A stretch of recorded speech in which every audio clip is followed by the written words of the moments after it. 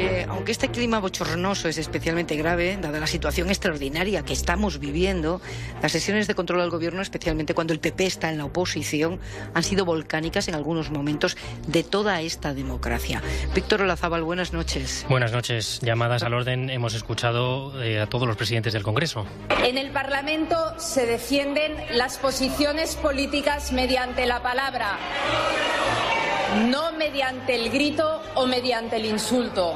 Les ruego, por favor, silencio. Batet pedía silencio, lo pidió también Pachi López. Pero ese ruido permanente, ese rum rum constante, esa increpación, sí, déjeme acabar, esa increpación con el que tiene la palabra eso no es asumible. Le rogaría a sus señorías que no ahogaran la esencia de lo que es esta Cámara. Y Ana Pastor, que un día llegó a decir señorías 17 veces seguidas y otro día pidió perdón, eso sí, al circo. Y mientras yo sea presidenta de esta Cámara, aquí desde luego esto no se va a convertir bajo ningún concepto, ya les dije el otro día, el circo sin ofender al circo ni en una taberna. Frente a los presidentes del Congreso, los diputados, Aznar en los 90. Llega usted demasiado tarde incluso para lavarse la cara, señor González. No ha hecho usted nada.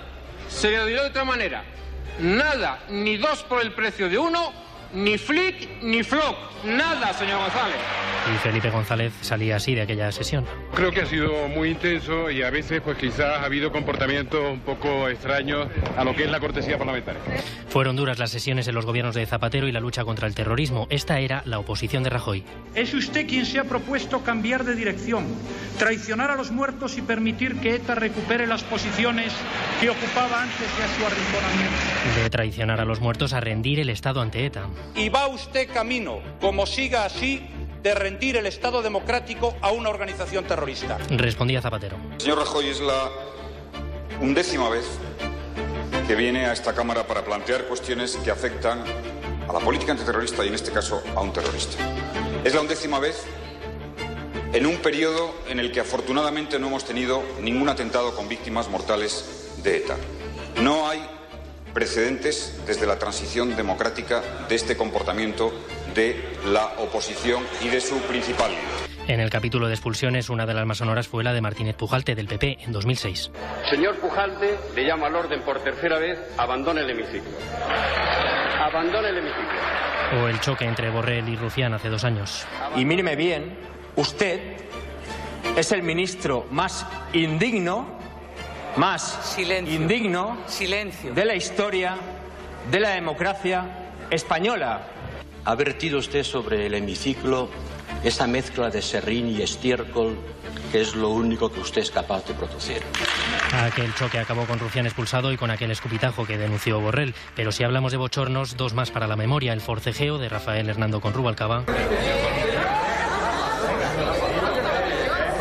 Y el inolvidable enfado de la bordeta. Pero hombre, yo voy tranquilamente, pero ¿no puedo hablar aquí o qué?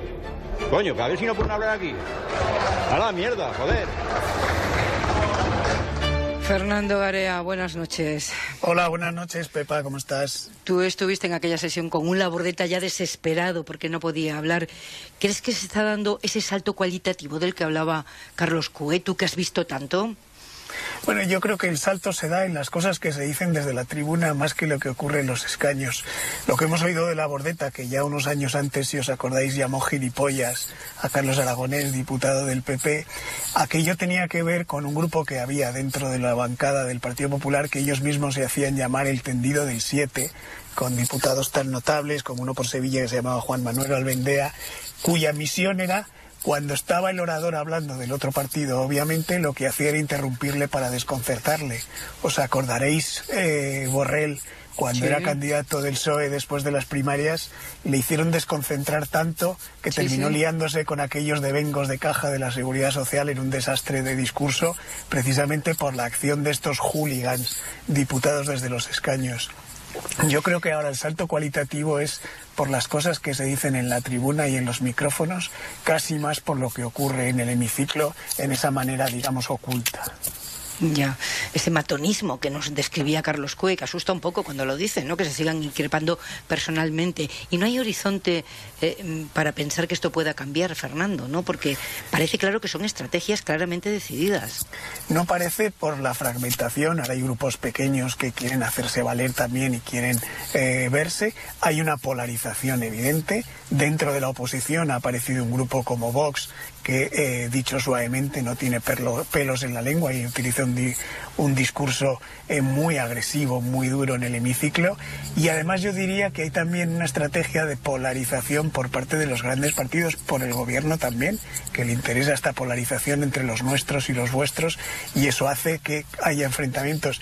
Hoy recordaba cuando, por ejemplo, había enfrentamientos muy duros entre lo que se llamaban los Hernandos, que eran Rafa Hernando, Antonio Hernando, portavoces del PSOE y del PP, que en el hemiciclo se decían cosas duras, pero luego terminaban pactando y llegando a acuerdos, eh, por ejemplo, de renovación de instituciones. Ahora no solo hay ese salto cualitativo en cuanto a las cosas que se dicen, sino ni siquiera hay acuerdos y además entran en juego instituciones que son las que se llevan, digamos, las bofetadas dialécticas como la justicia o como la monarquía que antes no estaban dentro de ese juego en el hemiciclo, ese juego dialéctico tan agresivo.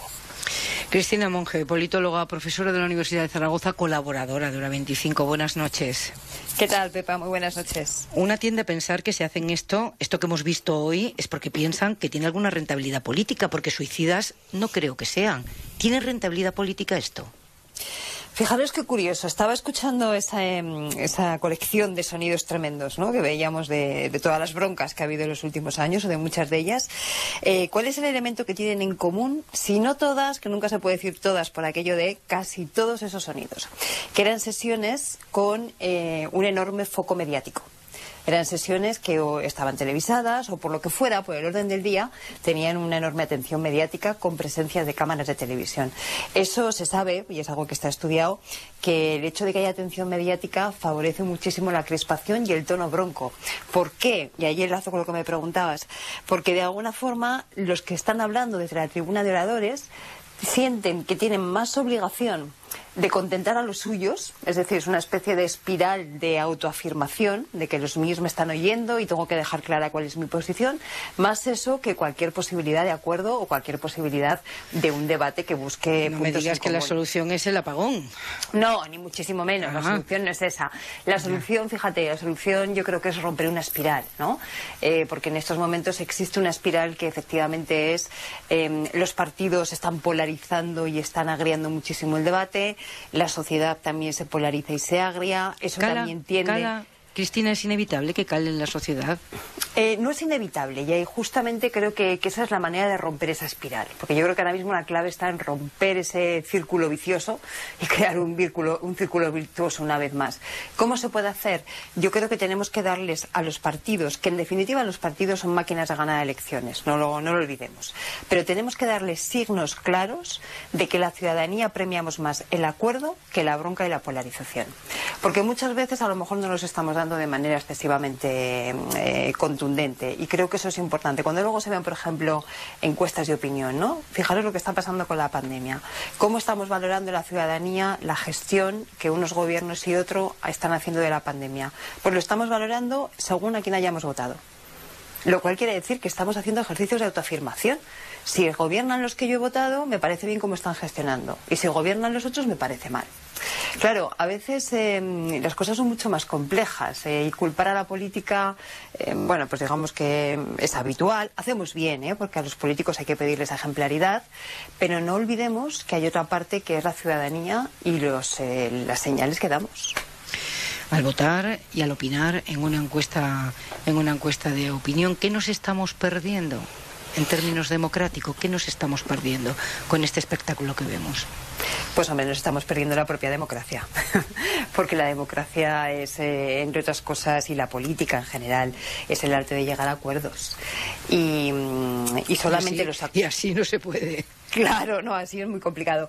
Y solamente los acuerdos consiguen que las sociedades avancen, ¿no? Los desacuerdos lo que hacen es eh, bloquear.